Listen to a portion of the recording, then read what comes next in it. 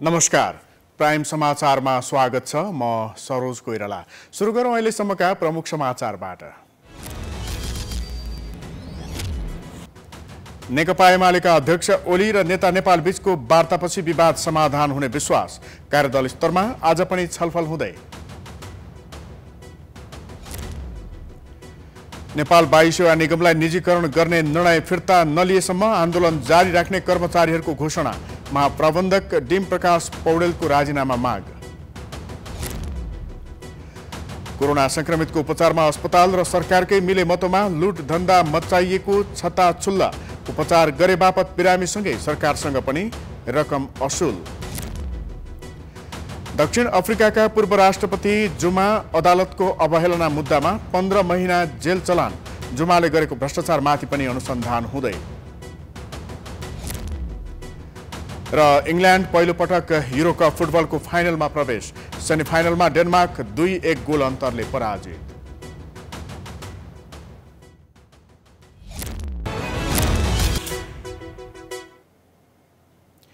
अब समाचार विस्तारमा।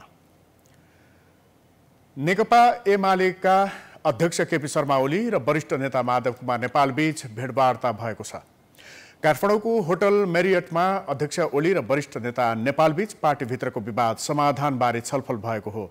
विवाद समाधानका लागि गठित कार्यदल सहमति नजिक पुगेपछि ओली र नेपाल बीच वार्ता भएको हो। अध्यक्ष र वरिष्ठ नेताबीच पार्टी एकतालाई कसरी बचाउने भन्ने विषयमा छलफल भएको माधव पक्षको कार्यदलका संयोजक डाक्टर भीम रावलले जानकारी दिए।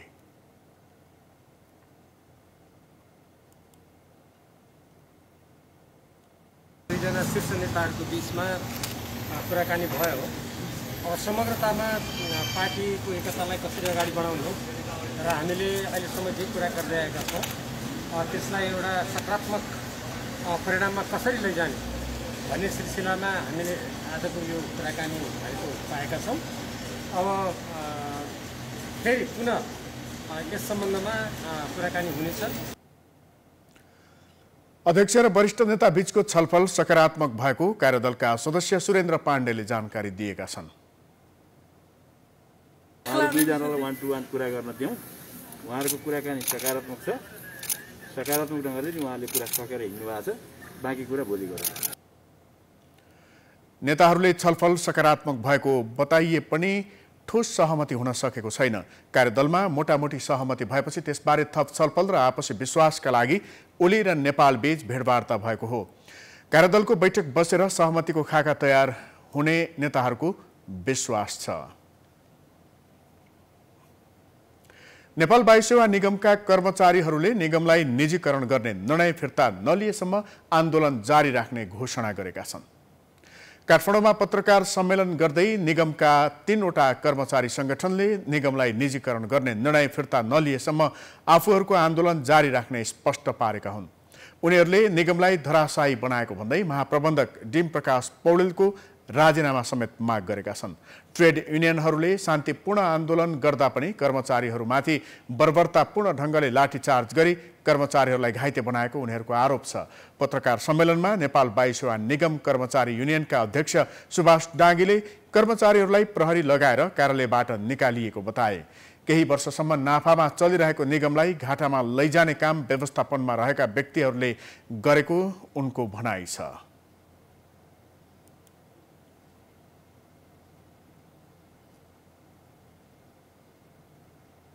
विश्व अहिले कोरोना महामारीमा परेको बेला हाम्रा जहाज उड्दैनन्। अब यतिसम्म म भन्न चाहन्छु प्राइभेट एयरलाइनले तपाईँको सय दुई सयवटा फ्लाइट गरिसकेको छ डेढ सय दुई सयवटा फ्लाइट गरिसक्यो। हाम्रो राष्ट्रिय ध्वजाभागलाई बचाउने राज्यको जिम्मेवारी भएको है जिम्मेवारी पदमा बसेको मान्छेले उसलाई फ्लाइटै नदिकन तपाईँको महिनामा चार पाँचवटा पनि मुस्किलले उडिरहेका छन् अहिले पनि। किनकि उहाँ प्राइभेट एयरलाइनबाट पर फ्लाइटमा आर्थिक चलखेल भएको छ। त्यस्तै नेपाल वायु सेवा निगम कर्मचारी सङ्घका अध्यक्ष मानबहादुर कुँवरले निगमको घाटालाई न्यूनीकरण गर्ने योजना निगम व्यवस्थापनसँग नभएको जिकिर गरे। भ्रामिक प्रचार गर्दै अघि मैले भनेको जस्तै तिस चालिस अर्ब चाहिँ घाटा छ भनेर प्रचारबाजी गर्दै अगाडि बढिराख्नु भएको छ। यो तिस चालिस अर्ब घाटा होइन। यो निगमले जहाज किन्दा लागेका ऋण हुन् ऋण भनेको संसारमा एउटा व्यक्तिसँग पनि हुन्छ राज्यसँग नि हुन्छ सरकारसँग नि हुन्छ संस्थासँग नि हुन्छ। तर त्यो ऋण बनाएको सम्पत्ति छ कि छैन भन्ने कुरा मुख्य कुरा आउँछ। र त्यो सम्पत्तिको सदुपयोगले त्यो ऋणको चाहिँ ब्याज तिर्न सकिन्छ कि सकिँदैन भन्ने कुरा मुख्य कुरा हो। हामीले भर्खरै तिन चार पाँच वर्ष अगाडि जहाजहरू खरिद गर्दा लागेका ऋणहरू त्यो बराबरका सम्पत्ति हामीसँग नयाँ छन्। उनीहरूले निगमको सम्पत्तिको कम मूल्याङ्कन गरेको सम्बन्धित मन्त्रालय तथा आम कर्मचारीहरूलाई छल्दै निगम बेच्ने रणनीति बनाएको तथा गलत उद्देश्य राखी सीमित व्यक्तिको माग पूरा गर्ने राष्ट्रघाती कदम चालिएको आरोप लगाएका छन्।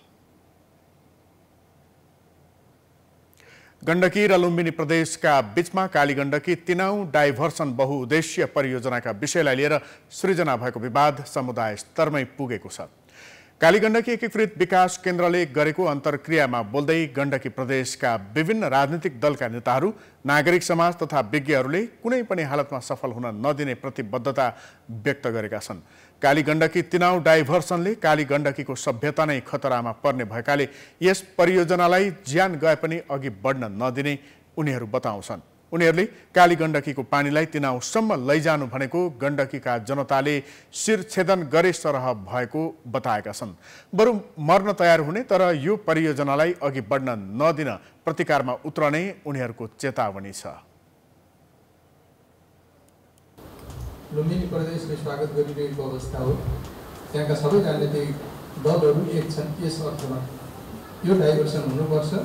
यो उपयुक्त हो। भनेर त्यहाँ सबै के एमाले के माओवादी के नेपाली काङ्ग्रेस सबै नै उनीहरू चाहिँ एक रहेका छन्। र त्यस्तै गरेर गण्डकी प्रदेशसँग चाहिँ सम्बन्धित र यो काली गण्डकी डाइभर्सनबाट चाहिँ प्रभावित हुने जे जति हामीहरू चाहिँ छौँ मलाई लाग्छ हामी पनि एक छौँ। हामी एक हुनुपर्छ र त्यसमा पनि दुई मत चाहिँ रहेको छैन। जुन मिडियामा जाने कुरा यो छ अहिले मिडियाको जमाना छ। मिडियामा जाने कुरा कुनै दिन कुनै पत्रिका पनि खाली नहोस् कुनै मिडिया पनि इलेक्ट्रोनिक मिडिया पनि खाली नहोस् र कुनै एउटा संस्था पनि काली त्यहाँ खाली नहोस् पठाएको एकै दिन भरबार सब एकै दिन पठाएको खाली हुने होइन। दिनदिनै यिनीहरू पठाएको पठाए दिनदिनै अरू कुरा गर्ने हो। हामीले एउटा योजना बनाउँदैछौँ। हामीले नारा जुलुस आदि इत्यादि टायर पाल्ने गर्ने केही गर्न पर्दैन। सजिलो तरिकाले कालीगण्डकी डाइभर्सन जान्छ। हाम्रो गतिविधि देखेपछि उनीहरू उहाँहरू पछाडि हट्नुहुन्छ एक त उहाँको त्यो नैतिकताका हिसाबले जुन कुरा गर्दै हुनुहुन्छ रामदेवमा आएर पनि कार्यालय खोल्न सक्नु भएको छैन। कार्यक्रममा बोल्दै काली गण्डकी एकीकृत विकास केन्द्रका अध्यक्ष डाक्टर बुद्धिमान श्रेष्ठ पत्रकार उजिर मगर नेकपा मालेका गण्डकी प्रदेशका नेता शङ्कर पोखरेल गण्डकी प्रदेशका पूर्व योजना आयोगका उपाध्यक्ष डाक्टर गिरिधारी शर्मा लगायतले समुदाय स्तरबाटै काली गण्डकीको सभ्यता सांस्कृतिक महत्त्व र ऐतिहासिक महत्त्वलाई बचाउन सबै दल नागरिक समाज र सिङ्गो गण्डकी प्रदेश एक हुनेमा प्रतिबद्धता जनाएका थिए। यसैबीच सर्वोच्च अदालतले काली गण्डकी डाइभर्सन परियोजना सम्बन्धी निर्णय र योजनाको कागजातसहित उपस्थित हुन सरकारलाई आदेश दिएको छ।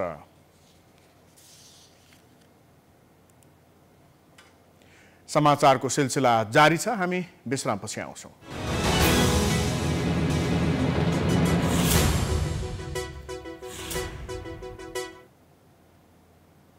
विश्रामपछि स्वागत छ। अब बाँकी समाचार।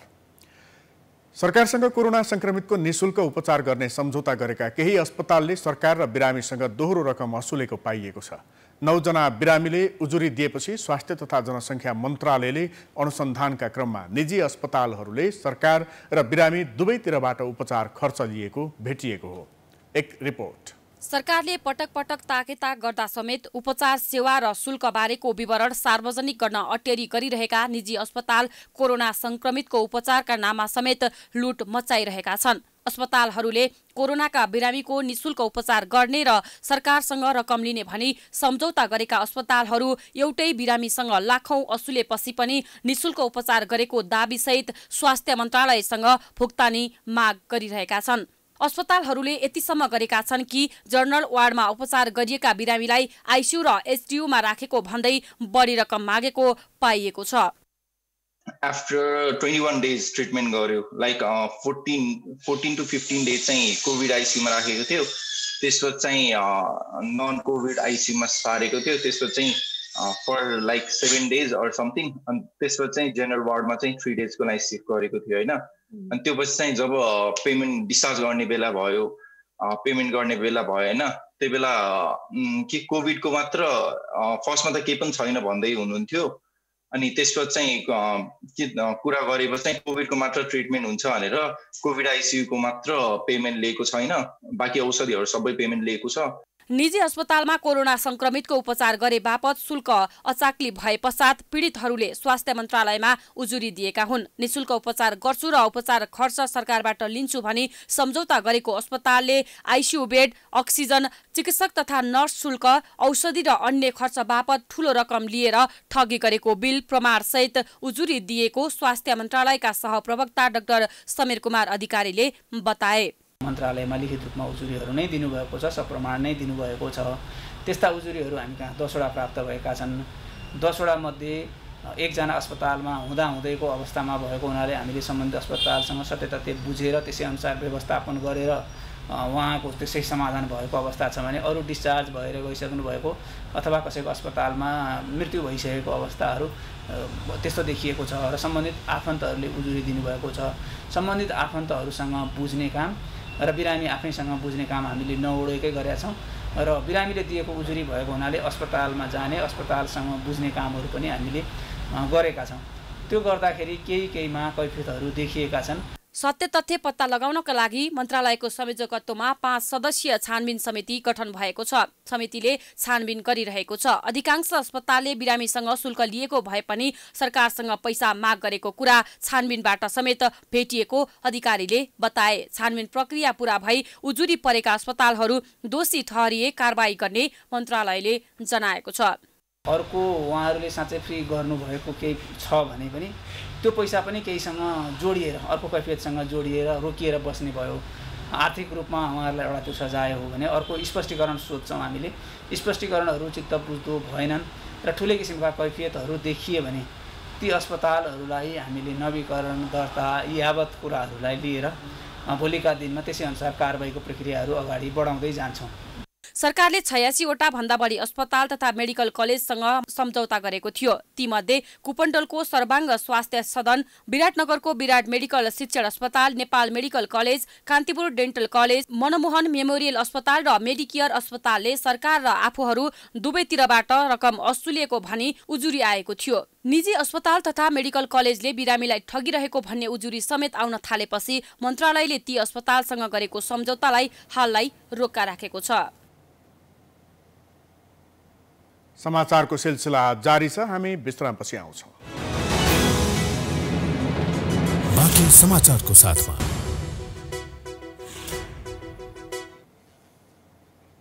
दक्षिण अफ्रिकाका पूर्व राष्ट्रपति याकुब जुमा अदालतको अवहेलनाको आरोपमा जेल परेका छन्।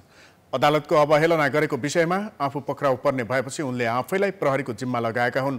उनी क्वाजुलु ताल प्रान्तको आफ्नो घर नजिकको जेलमा हिँडेर गएका थिए। जुमाले प्रहरी समक्ष आत्मसमर्पण नगरे पक्राउ गर्ने चेतावनी प्रहरीले दिएको थियो। उनासी वर्षीय जुमामाथि भ्रष्टाचार मुद्दामा अदालतमा छानबिन चलिरहेको थियो। जुमालाई भ्रष्टाचार अनुसन्धानमा उपस्थित हुन नसकेपछि गत हप्ता पन्ध्र महिनाको जेल सुनाइएको थियो। जुमाले भने भ्रष्टाचारको आरोप अस्वीकार गर्दै आफू राजनीतिक षड्यन्त्रको शिकार भएको प्रतिक्रिया दिएका छन्। अब खेलकुद समाचार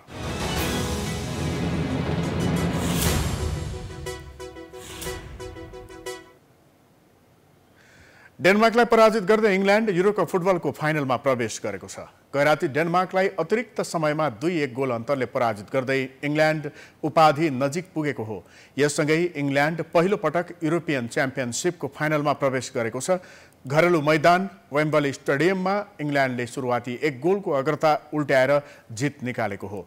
इङ्ल्यान्डको जितमा कप्तान ह्यारी केनले एक गोल गरे इङ्ल्यान्डले एक गोल आत्मघाती उपहार पाएको थियो।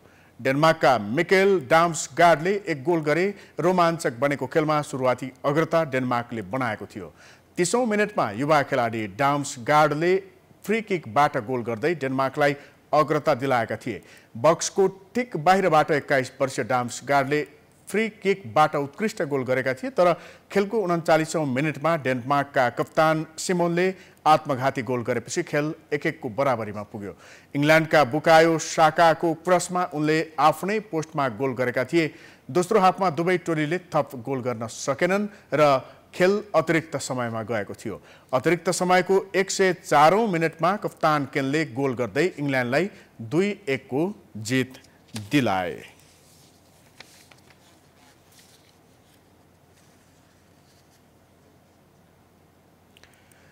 यो सँगै हामी समाचारको अन्त्यमा आइपुगेका छौँ। जाँदा जाँदै प्रमुख समाचार पुनः एकपटक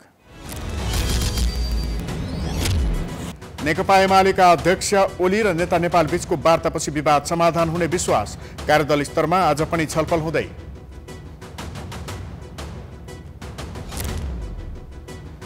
नेपाल वायु सेवा निगमलाई निजीकरण गर्ने निर्णय फिर्ता नलिएसम्म आन्दोलन जारी राख्ने कर्मचारीहरूको घोषणा। महाप्रबन्धक डिम प्रकाश पौडेलको राजीनामा माग। कोरोना संक्रमितको उपचारमा अस्पताल र सरकारकै मिलेमतोमा लुट धन्दा मचाइएको छताछुल्ल उपचार गरे बापत बिरामीसँगै सरकारसँग पनि रकम असुल दक्षिण अफ्रिकाका पूर्व राष्ट्रपति जुमा अदालतको अवहेलना मुद्दामा पन्ध्र महिना जेल चलान।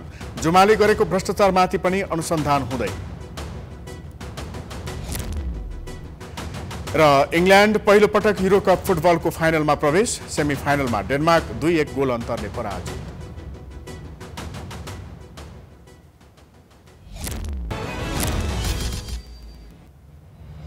समाचार अहिलेलाई सकियो हेर्दै गर्नुहोला प्राइम टाइम्स टेलिभिजन